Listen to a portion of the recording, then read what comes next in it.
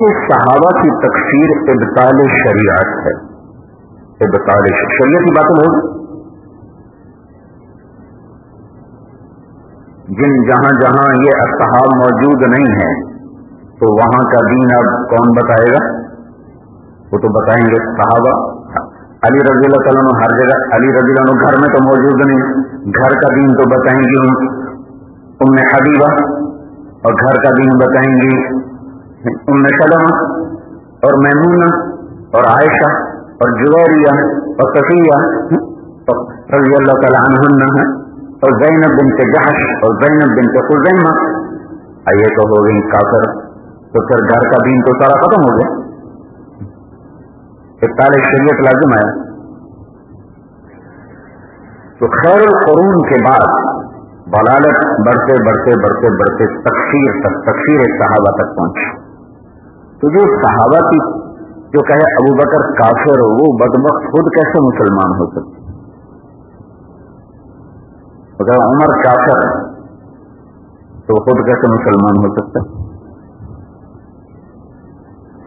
اور دو کافر نبی کے پہلو میں سوئے ہوئے ہوں۔ کتنی عجیب بات ہے تو واقعہ مشہور نہیں ہے؟ وہ مدینے میں ایک شخص کو قبر میں باہر نکال کے پھینک دیا تھا۔ ہاں؟ پھر دفن کیا پھر نکال دیا پھر دفن کیا پھر نکال دیا۔ تو ایک آدمی نے کلمہ پڑا تو انہوں نے اس کو قتل کر دیا۔ تو اللہ کے نبی نے کہا تو انہیں کلمہ پڑھنے کے بعد بھی قتل کیا تھا۔ جی اس نے اوپر سے پڑا تو تو نے دل دیکھ لیا تھا۔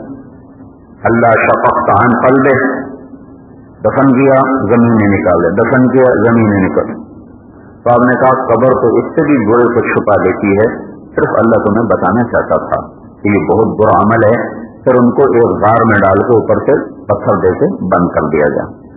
تو جو اللہ ایک قتل کے جرم کی سزا بتانے کے لیے زمین سے باہر نکال دیتا ہے، وہ اللہ کیسے برداشت کرے گا کہ نبی کے پہلے ایک طرف ابو بکر ایک طرف عمر ہوں؟ یہ اللہ کے نبی کی خبر ہے، دائیں طرف ابو بکر بائیں اور بائیں طرف عمر۔ یہ ایک یہ ایک قول ہے۔ کیونکہ اب سب تخمینے ہیں۔ جو قبر تو بند ہے نا، اور تیسرا کے انتقال پر دیوار توڑی جائے گی۔ تیسرا قول یہ ہے۔ دوسرا یہ ہے۔ یہ اللہ کے نبی کی خبر اور پھر آپ کے کندھے کے ساتھ ابو بکر کا سر، پھر ابو بکر کے کندھے کے ساتھ عمر کا سر۔ پھر یہ یہ کرتی یہ۔ دیکھ اس طرح ہے۔ اور کریم قیاس ادب کے لحاظ سے تو یہ بنتی ہیں کہ ادبن ابو تو تھوڑا سا پیچھے، عمر اس سے پیچھے۔ اور ایک حدیث جو یہ قول بھی چونکہ موجود ہے کہ بیچ میں اللہ کے نبی کی قبر ہے اور دائیں طرف ابو بکر ہیں اور بائیں طرف عمر ہیں، تو ایک حدیث اس کی تائید کر دی۔ تو کہ آپ نے کہا کہ سب سے پہلے قبر قبریں پھٹیں گی تو میری قبر پھٹے گی سب سے پہلے میں قبر سے نکلوں گا، میرے دائیں طرف سے ابو بکر نکلے گا، میرے بائیں طرف سے عمر نکلے گا۔ حدیث۔ اور آپ نے ایک دفعہ ابو بکر کا ہاتھ پکڑا ہوا تھا سیدھے طرف اور عمر کا الٹے ہاتھ سے اور آپ مسجد میں داخل ہوئے۔ تو ادھر ابو بکر، ادھر عمر اور اپنے دونوں کے ہاتھ پکڑے تو آپ نے کہا ہاں کیا یوم القیامہ. اسی طرح ہم قیامت کے دن اٹھائے جائیں گے۔ تو تو تفسیر صحابہ ابتال شریعت ابتال شریعت کو فرح ہے۔ تو صحابہ کی صحابہ کی تفسیر اکثر، صرف اکثر پر۔ جمیل، وہ تو صرف چار کو مسلمان مانتے ہیں، تو بہت سارے کافر ہو گئے کوئی بھی مسلمان نہ بچے۔ تو یہ بات یقیناً کفر بواہا ہے، کفر بواہا یعنی کفر مستور نہیں ہے، کفر بواہا ہے۔ میں میری نظر سے یہ عبارت نہیں گزری۔ تھی اس عبارت کی طرف مجھے متوجہ کیا مولانا علی شیر حیدری صاحب۔ اس لیے میں تمہارے سامنے اعتراف کر رہا ہوں۔ اور تمہیں سبق دے رہا ہوں کہ جس سے نفع ہو، اس کا اعتراف رکھنا سند اسی کی دلیل۔ امام بخاری، امام ترمزی سے روایت کرتے ہیں، سمجھو؟ ترمزی شاگرد ہیں ان کے کوئی شاگردوں سے بھی سند لیتا ہے؟ عظمت اور بڑائی۔ وہ اپنی روایت میں امام ترمزی کو لگتے ہیں۔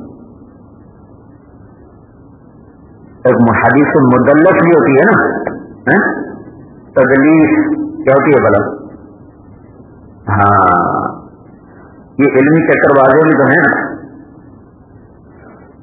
امام ابن احمد ابن حنبل اور سفیان ابن اوینا یہ مسجد میں بیٹھے اور ایک نوجوان کھڑا ہوا حدثني احمد بن حنبل وسفيان بن عيينة عن فلان عن فلان عن فلان، قال رسول الله صلى الله عليه وسلم كذا وكذا تو احمد، امام احمد نے دیکھا سفیان کو۔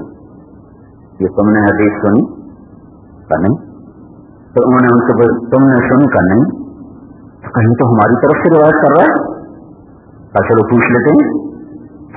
تو جب مجلس ختم ہو گئی، تو یہ دونوں حضرات آیا تب بھائی، میں احمد بن حنبل ہوں۔ یہ سفیان بن اوینا ہے۔ یہ تم نے حدیث بیان کی ہے۔ ہم نے تو زندگی میں کبھی نہیں سنی۔ تو کس سے روایت کی ہے؟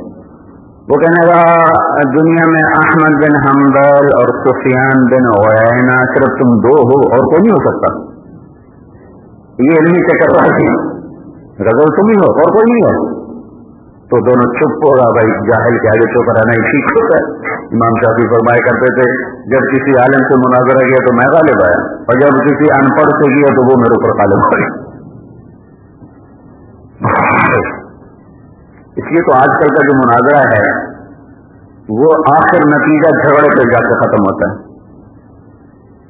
کیونکہ کوئی علمی دلائل تو وہ دے نہیں رہا ہوتا۔ انہیں تو مار دھاڑ کرنی ہوگی کسی طرح گراؤ کسی طرح گراؤ اللہ اللہ فی اصحاب لا تتخذوهم غرضا من بعد۔ غرض سے مراد ہوتا ہے تنقید کا نشانہ میں تنقید پر میرا نبی کرا اللہ اللہ۔ اور تفسیر پھر کہاں چلی گئی؟ تو اسلام سے نکال دی۔ یہ کیونکہ سبق کی مجلس ہے، اس لیے تو میں واضح کر کے بتا رہا ہوں۔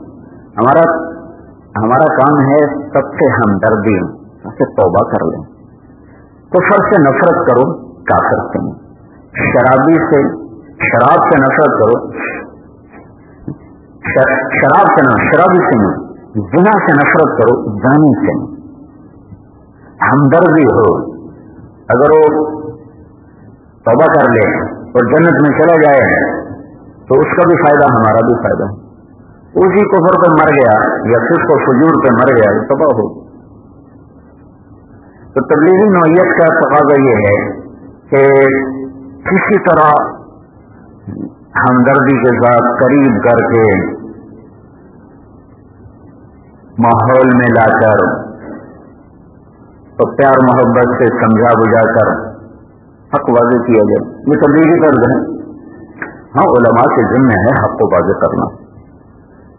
علماء کا منصب یہ نہیں، سمجھو؟ علماء کا منصب ہے حق کو واضح کرنا۔ حق اور باطل میں تفریح کو قائم کر کے واضح کرنا۔ حق الحق کا ویوگ تیلن باطل لیکن جو تبلیغی کام ہے، اس کا تقاضا ہے ان کو پیار محبت سے قریب کرنا۔ فاسق سے فاسق، فاجر سے فاجر آسی سے آسی کہ وہ کافر مطلق ہے لیکن اس پر نام اسلام موجود ہے؟ وہ جو تحفت العلماء ہیں یہ تم پڑھو۔ حضرت تھانوی رحمت اللہ علیہ کے مواعث کو جمع کیا ہے۔ ہندوستان کے کسی عالم نے مجھے بہت نفع ہوا اس کتاب سے۔ تو میں تمہیں بھی کہتا ہوں، اپنی فرصت کے اوقات میں وہ کتاب ضرور، خاص طور پر، خاص طور پر جلد ثانی۔ جلد اول تو ہمارے مطلب چندے کے مسائل اور مدرسے کے مسائل وہ ہیں۔ لیکن اللہ کا کو تمہیں مدارس چلانے والا بنائے تو بے شک ساری پڑھو، ساری مفید۔ تو اس میں مناظرے کے بعد میں لکھا ہوا ہے کہ حضرت نانوتی رحمت اللہ علیہ کسی بھی اسلامی فرقے سے مناظرہ نہیں کرتے تھے، چاہے وہ کافر ہی کم نہ ہو نام اسلام کا ہے، لیکن ہے وہ کافر، تو اس سے اجتناب فرماتے۔ زندگی میں صرف ایک دفعہ شیعہ اور غیر مقلدین کے خلاف ایک مضمون لکھا، باقی اجتناب فرماتے۔ تھے تو ہم مسائل میں اپنے علماء کے پابند ہیں، عقائد میں اپنے علماء کے پابند ہیں۔ ہماری کوئی الگ راہیں نہیں ہیں۔ تو ہم مسائل میں اپنے علماء کے پابند ہیں، عقائد میں اپنے علماء کے پابند ہیں۔ ہماری کوئی الگ راہیں نہیں ہیں۔ وہ جو محنت ہے نا محنت المحنت جو مولانا خلیل احمد صاحب سہارنپوری رحمت اللہ نے جب علماء دیوبند پر احمد رضا صاحب نے عبارات میں تقدیم تاخیر کر کے، جیسے میرے ساتھ ہوا ہے نا میرے دروس کو جو مختلف بنا کر پھیلا دیا ہے تو اگرچہ اس میں بعض باتیں میں نے کہی ہیں لیکن میرے علم میں نہیں تھیں۔